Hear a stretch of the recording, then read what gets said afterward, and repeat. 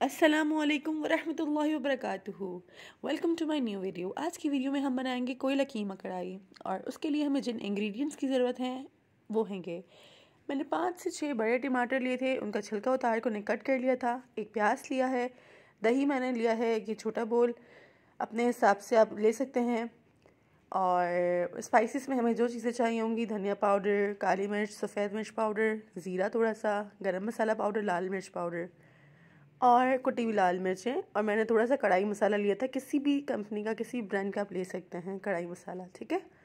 यहाँ मैंने ऑयल डाल दिया है। अब मैंने तेज़पात के दो पत्ते ऐड किए हैं।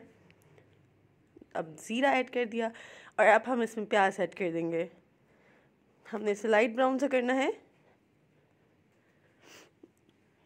सिंपल रेसिपी है, और बहुत मज़े का कीमा बना था, बहुत मज़े का। आप लोग ज़रूर ट्राई कीजिएगा, प्लीज़। और अब हम इसमें डाल देंगे अदरक लहसुन का पेस्ट।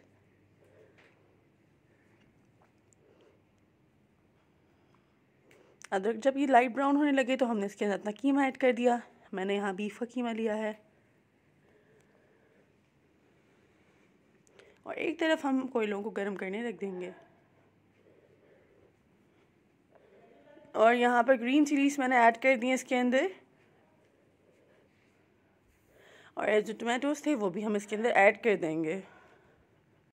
जी तो हम, हमने टमाटोज़ ऐड कर दिए हैं। अब हम इसे चम्मच चलाएँगे हल्का सा और हम अपने स्पाइसेस जो थे, जो मैंने आपको बताया था, वो सब हम इसमें ऐड कर देंगे। जिसमें ज़ीरा था, धनिया पाउडर लाल मिर्च पाउडर गरम मसाला पाउडर थोड़ी सी काली मिर्च और थोड़ा सा सफ़ेद ज़ीरा, सफ़ेद पाउडर और फिर मैंने साथ ही कुटी हुई लाल मिर्च अपने हिसाब से डाल दी थी। मुझे कम लगी थी तो मैंने थोड़ी सी और ऐड कर दी थी। अब हमने अच्छे से इसे बुनाई करनी है इसकी, ताकि टोमेटोज़ बिल्कुल अच्छे से अंदर सेट हो जाएँ।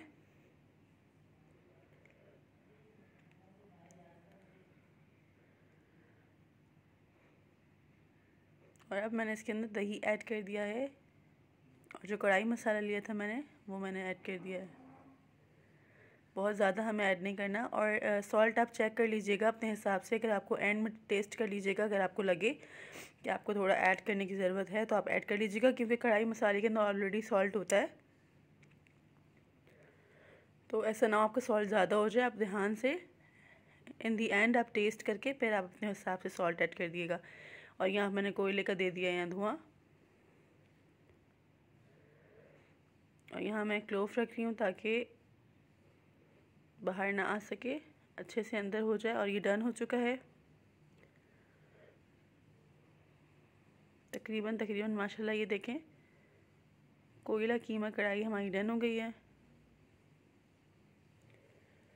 अब मैं कोरिएंडर कट करके वो उसके ऊपर से डाल दूँगी और हरी मिर्चें, बड़े साइज़ की वो मैं ऐड कर दूँगी। माशाल्लाह, बहुत टेस्टी बना था। बहुत ज़्यादा पसंद किया गया था। आप लोग भी प्लीज़ ज़रूर बनाइएगा, ट्राई कीजिएगा और मुझे कमेंट्स में बताइएगा कि कैसा बना। थैंक यू सो मच और चलें, अब हम इसकी फ़ाइनल लुक दिखाते हैं आपको।